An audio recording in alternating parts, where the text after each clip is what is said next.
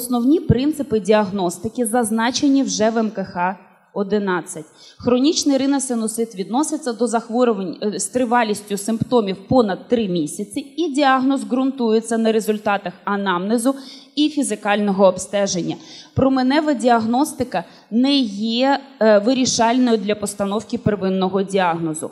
Діагноз встановлюється, спираючись на клінічні критерії захворювання. Хронічний риносинусит – це запалення слизової оболонки носа та приносових пазух, яке продовжується більше 12 тижнів і характеризується двома або більше симптомами, один з яких обов'язково належить до основних. До основних симптомів, так само як при гострому риносинуситі, в нас відноситься закладеність носа і виділення з носа, причому актуальним є і переднє, і заднє затікання. Також виділяють додаткові симптоми, які зустрічаються дуже часто: це біль і тиск в ділянці обличчя та послаблення або втрата нюху, яке характерно для дорослих пацієнтів. Ще зустрічаються другорядні симптоми, які можуть комбінуватися в численних е, варіантах: це біль або тиск у вухах, запаморочення, запах з рота, зубний біль.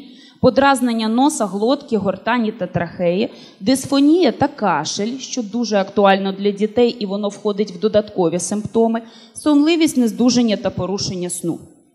Коли ми детальніше говоримо про особливості діагностичних критеріїв в дитячому віці, то дослідження, присвячені вивченню цього питання, показали, що найбільш поширеними клінічними симптомами хронічного риносинуситу у дітей є кашель, ринорея, закладеність носа, постназальне затікання і з більшою поширеністю хронічного кашлю. Було проведене досить цікаве дослідження з вивчення хронічного кашлю, тобто це кашель, що тривав більше чотирьох тижнів, і були виключені інфекції дихальних шляхів. Так ось, згідно цього дослідження, 66% дітей, що мають хронічний кашель, у них були знайдені відхилення на комп'ютерно-томографічних знімках у пазухах. Тобто, коли ми маємо справу з хронічним кашлем у дітей, ми одразу повинні бути насторожені щодо хронічного риносинуситу. Також клінічні критерії хронічного риносинуситу обов'язково повинні бути підтверджені одним з даних критеріїв. Це ендоскопічні критерії, такі як наявність назальних поліпозів та поліпів та або виділення головним чином середнього носового ходу та або набряк слизової оболонки головним чином в середньому носовому ході. Або комп'ютерно-томографічними критеріями це зміни слизової оболонки в остеоміатальному комплексі та або в приносових пазух. Ще раз акцентую увагу: комп'ютерна томографія є найбільш чутливим методом, який може е, е, говорити нам про патологію в пазух, однак його використання при первинній діагностиці є обмеженим.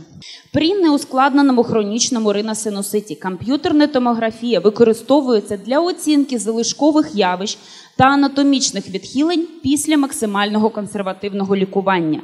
Наявні відхилення на комп'ютерних томограмах е, оцінюються у контексті ступеня їх тяжкості і узгодженості з клінічною картиною.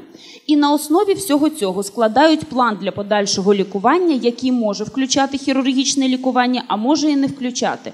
Отже, після е, консервативного лікування часто відпадає потреба у хірургічному лікуванні взагалі, або суттєво змінюється підхід до, е, до, до хірургічного лікування чи оперативний доступ.